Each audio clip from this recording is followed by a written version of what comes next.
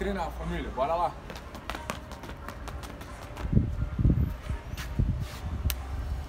Agora que eu acabei meu treino, a parte importante. Vocês querem ficar bom no futebol americano, treinando em casa, academia ou em qualquer lugar?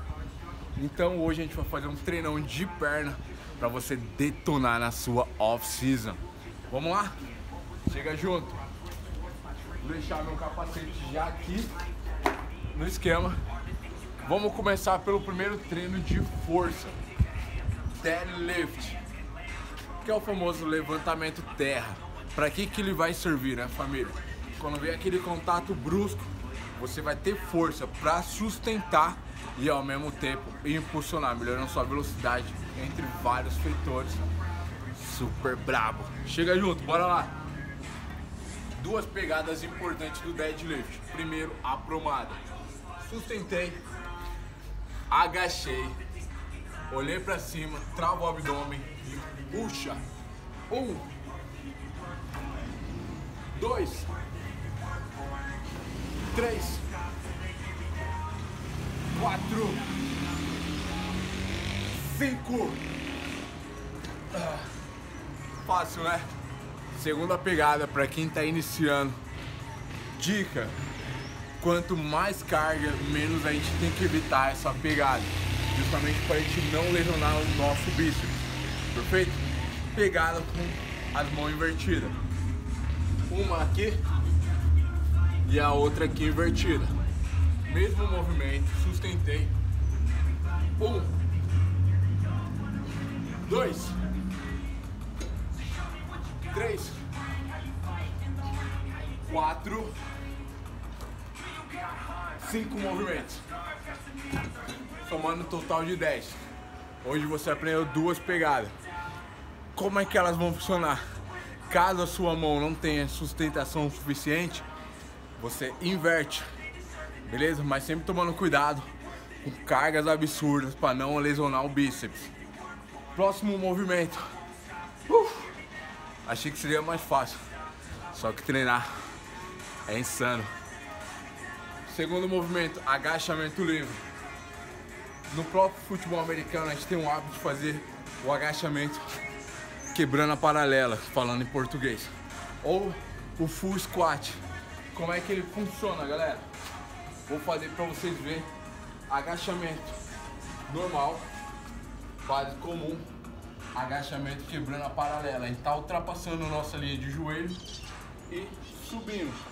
É um pouco mais difícil, mas quando você estiver jogando, vocês vão vir para um contato e o que vai acontecer? Vocês vão precisar ter a primeira força de sustentação, muitas vezes vão estar lá embaixo e depois, que nem o deadlift, vocês vão arrancar. Isso facilitando o que? Seu futebol, porque o contato, primeiro você vai sustentar, depois você vai arrancar. Porque eu fiz ao contrário. O deadlift ele cansa muito mais e a coxa ela vai continuar inteira. Então a gente vai trabalhar a coxa agora. Bora lá? Aprender uma base, vamos pro agachamento. Coloquei o peso, ajuste uma posição confortável e vamos lá embaixo. Um, dois, três, quatro, seis, sete, oito, nove. Finalizar, né? 10 movimentos. Você que joga futebol americano aqui no Brasil, como é que tá o treino de vocês? Como é que tá a sua preparação? Comenta aí embaixo e vamos pro próximo movimento. Aqui é um afundo, onde a gente vai melhorar o nosso sprint. Por que a gente vai usar esse tipo de afundo? Usando halteres. Durante a nossa corrida a gente trabalha muito a parte de inércia. O que, que é a parte de inércia, né? Vou mostrar pra vocês. Nós temos as nossas existências de saída e inércia pra frente. Como é que eu vou fortalecer essa saída? Justamente com peso.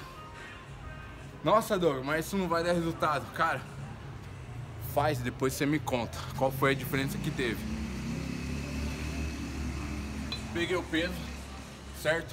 Ah, Douglas, não tenho peso em casa, então vamos fazer primeiro sem peso.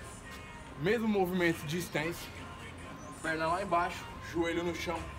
Um, dois, três, quatro, cinco movimentos. Troquei a perna. Um, dois, três, quatro, cinco. Fácil, né? A dica tá brava, então já vai se inscrever no canal e compartilha com seu amigo para ele detonar também nesse campeonato. Segunda parte, a gente já usando o peso.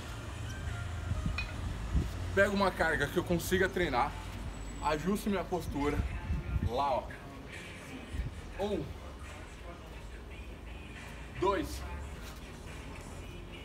três, quatro, cinco, troca o lado. Um, dois, três, quatro, cinco movimentos. Simples, fácil. Agora quero ver se futebol seu não vem para outro nível. Curtiu? Já inscreve no canal, deixa o like e com certeza estoura tudo.